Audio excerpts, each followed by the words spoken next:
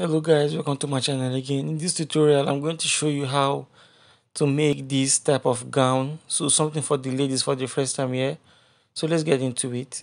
So as you can see i've already cut the gown which is a very easy way to cut it. And i've cut everything. In this tutorial i've already i've done a tutorial on how to cut a kaftan how to get a perfect neck and how to get the sleeve. So you can just go and watch it and you get how to be able to cut a, a, a gown like this. It's just basically how to cut a kaftan. So you just, instead of cutting the normal kaftan, you're just going to widen the body down so that to become is a, a flea like. So this is what we're using for the flap, which is the main thing about this tutorial, the flap and the collar. So I've already gummed the flap. One is going to be over one. So this one is going to be at the top.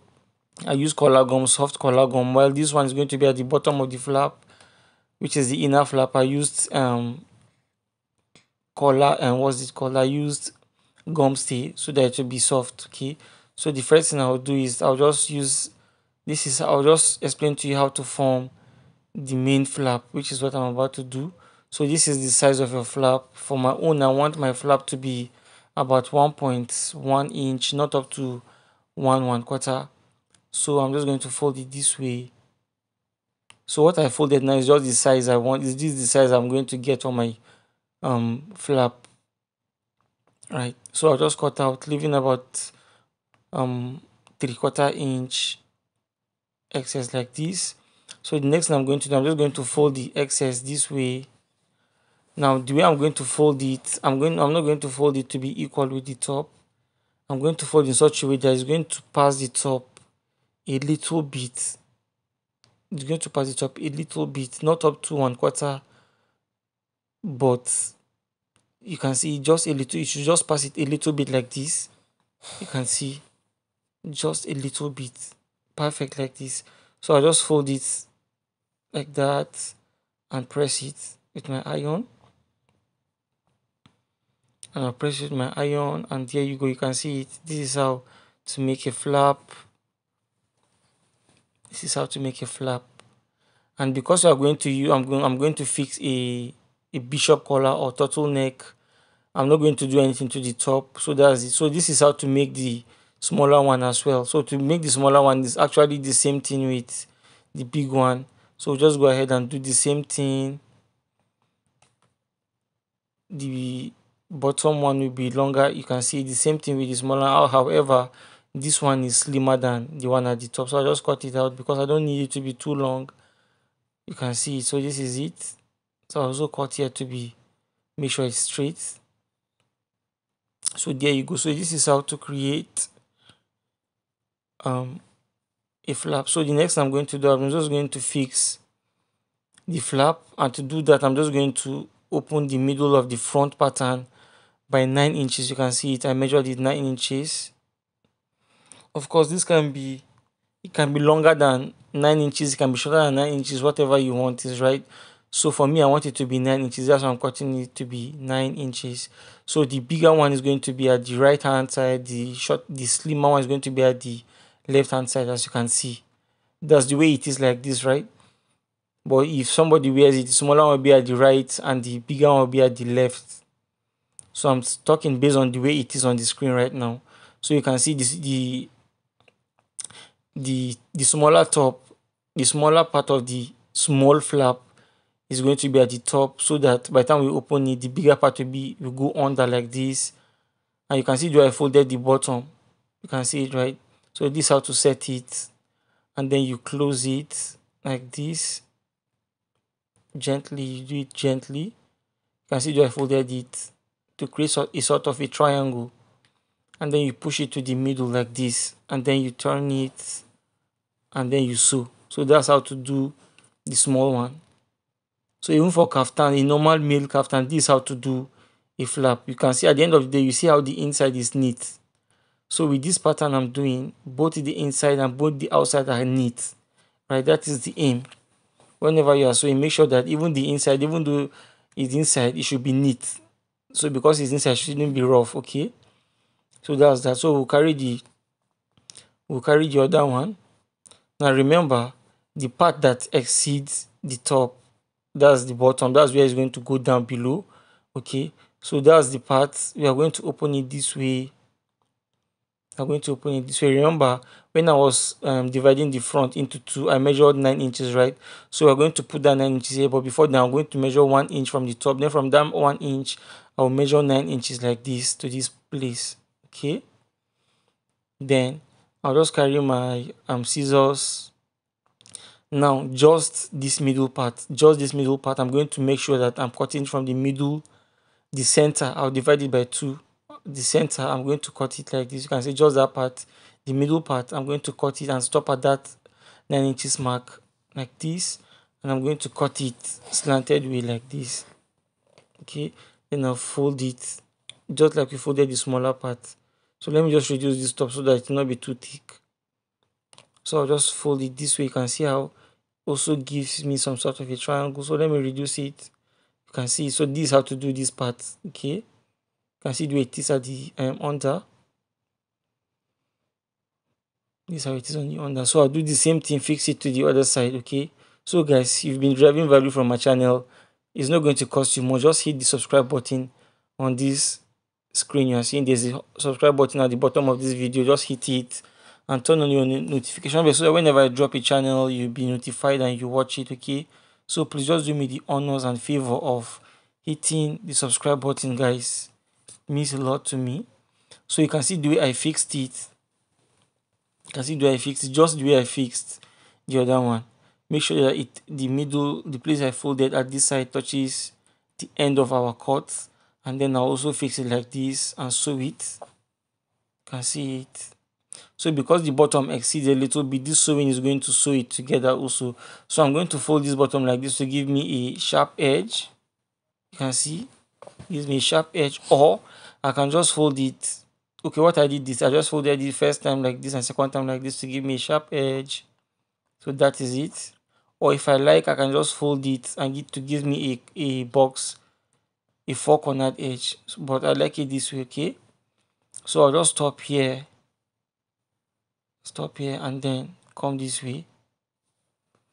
If I like, I can leave the flap like that so I'll cut off all my threads then I'll continue sewing from here however if I like I can just leave my flap that way so there's a little space I left I'll just come back and I'll stitch it come back and I'll stitch it as well. So that's it. So this is how I'll do it. I'll just come and I'll stitch it like this. Like this. And then I'll also do it this way. Reinforce and I'll cut all my threads to make sure everything is neat. So this is how to fix a flap a neat flap you can see the outside is neat very neat and you can see how the inside is the inside is also neat as well. You can see it created some sort of a triangle. You can see how neat it is guys. All right so this is how it is guys. So the next thing is i'm just going to weave this um shoulder and i'll join it to the front which is actually a very easy thing. So no need to show you the process. So i just join the shoulders weaved everywhere. And then the next thing is i just fix my sleeves and join the sides and that is all it's quite easy so like i said what i'm focusing on this particular video is how to fix your flap and how to fix a turtle neck or a bishop collared neck. So like I've done, like I said, I've done, I fixed my shoulders, I fixed my sleeve, I've sewn the sides. So what I'm going to do next is I'm going to fix a collar to this, a bishop collar actually. So what I'll do first for the collar, I'm going to measure around. So when you're measuring like this, make sure that you are putting the cloth you're measuring over something. Make sure it's sitting on something so that make sure it's not dangling. If not, the stress is going to um, can make this the, the, the, the neck slack and then to increase the size of the neck. So just put it to sit like sit it on something while you are measuring it like you see me doing now. Is on my table and I'm measuring it. So I've gotten 18 inches. Okay. So this is my collar gum. This is what I'll use to cut my collar. Okay. And it's on fold as you can see. I'm using the soft collar the same color I use for the flap so that the flap, both the flap and the color will be the same texture so first thing first I drew a straight line and then I divided my 18 which is the size of the collar into two since my collar gum is folded into two. So from the three inches that's where I'm going to create a curve like this. You can see it. The curve shouldn't be so much. I'm just going to create a curve like this. You can see and just mark it this way. I'm going to extend that line that I marked like this. And then I'll mark the size of the collar. For me, I want my collar to be one inch. I don't want it to be too fat. So one inch is just perfect for me. So this is it. I'll just go ahead and cut it out.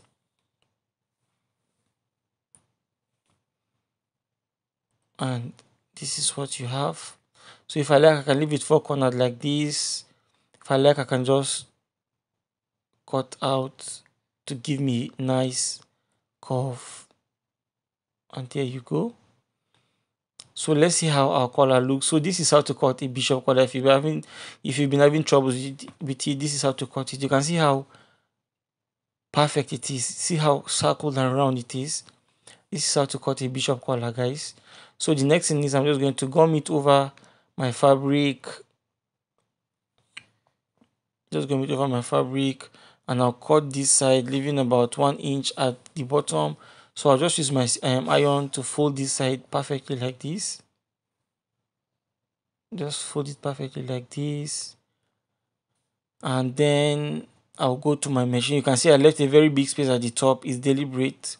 So I'll just fold it this way. And the next thing I'll do, I'm just going to sew this side like this. I'm going to sew about half inch or 0.4, not up to half inch. Just going to sew it round like this to hold down the part we iron down with our iron the part we press with our iron I mean. So I'm just going to cut out the excess thread. And this is what we have guys. This is what we have. So I fold it this way leaving about half inch at the top. You can see I fold it this way leaving about half or one inch at the top depending on the space you have. Then I'm just going to sew it this way to to have my face in when you are sewing don't sew it too close to the collar go make sure you leave about 0.1 inch around it. If it's too close it's not going to when you are turning it's not going to be perfect. So you're going to leave half, half inch sorry 0.1 inch around. And when you are trimming it also leave maybe 0.2 inch around it. So the next thing is i'll just turn it like this. You can see guys it's quite easy I'll turn it then I'll sew round just at the tip. That's if you like if you like you can just go to your table and iron it properly. But for me I just like to sew it around the tip. It looks more neater and beautiful that way. So this is it. I'll just cut out my excess threads.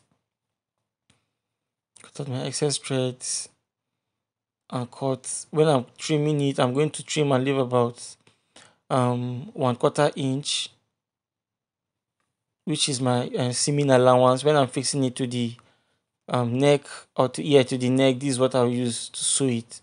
So the, you can see my collar. You can see how perfect it is, guys. So the next thing is I'm just going to start fixing my collar now. I'm going to fix it starting from the smaller part of my flap from the inside like this so that by the time I sew it, it's going to come out like this, okay? So I'm just going to start fixing it like this from here. You're going to start fixing it from here like this.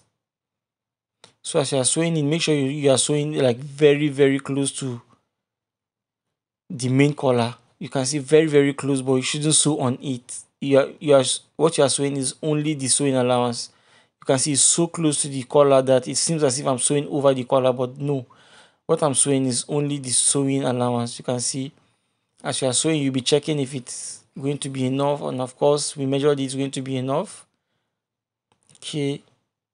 So that's it. Trim off your threads. So the next thing is, you know, we sew it through the inside, then we'll turn it out and then we'll push it inside like this. And this time around, we're going to sew over it, over the main collar like this as you are sewing it, make sure the thread you sewed initially is not showing. Okay, can see it, guys. I see how clean it is. So this is how to fix a bishop collar. Guys, thank you so much for watching. I hope you get you get um, value from this channel. Please subscribe to this channel. Thank you so much for watching. Have a great day. Bye.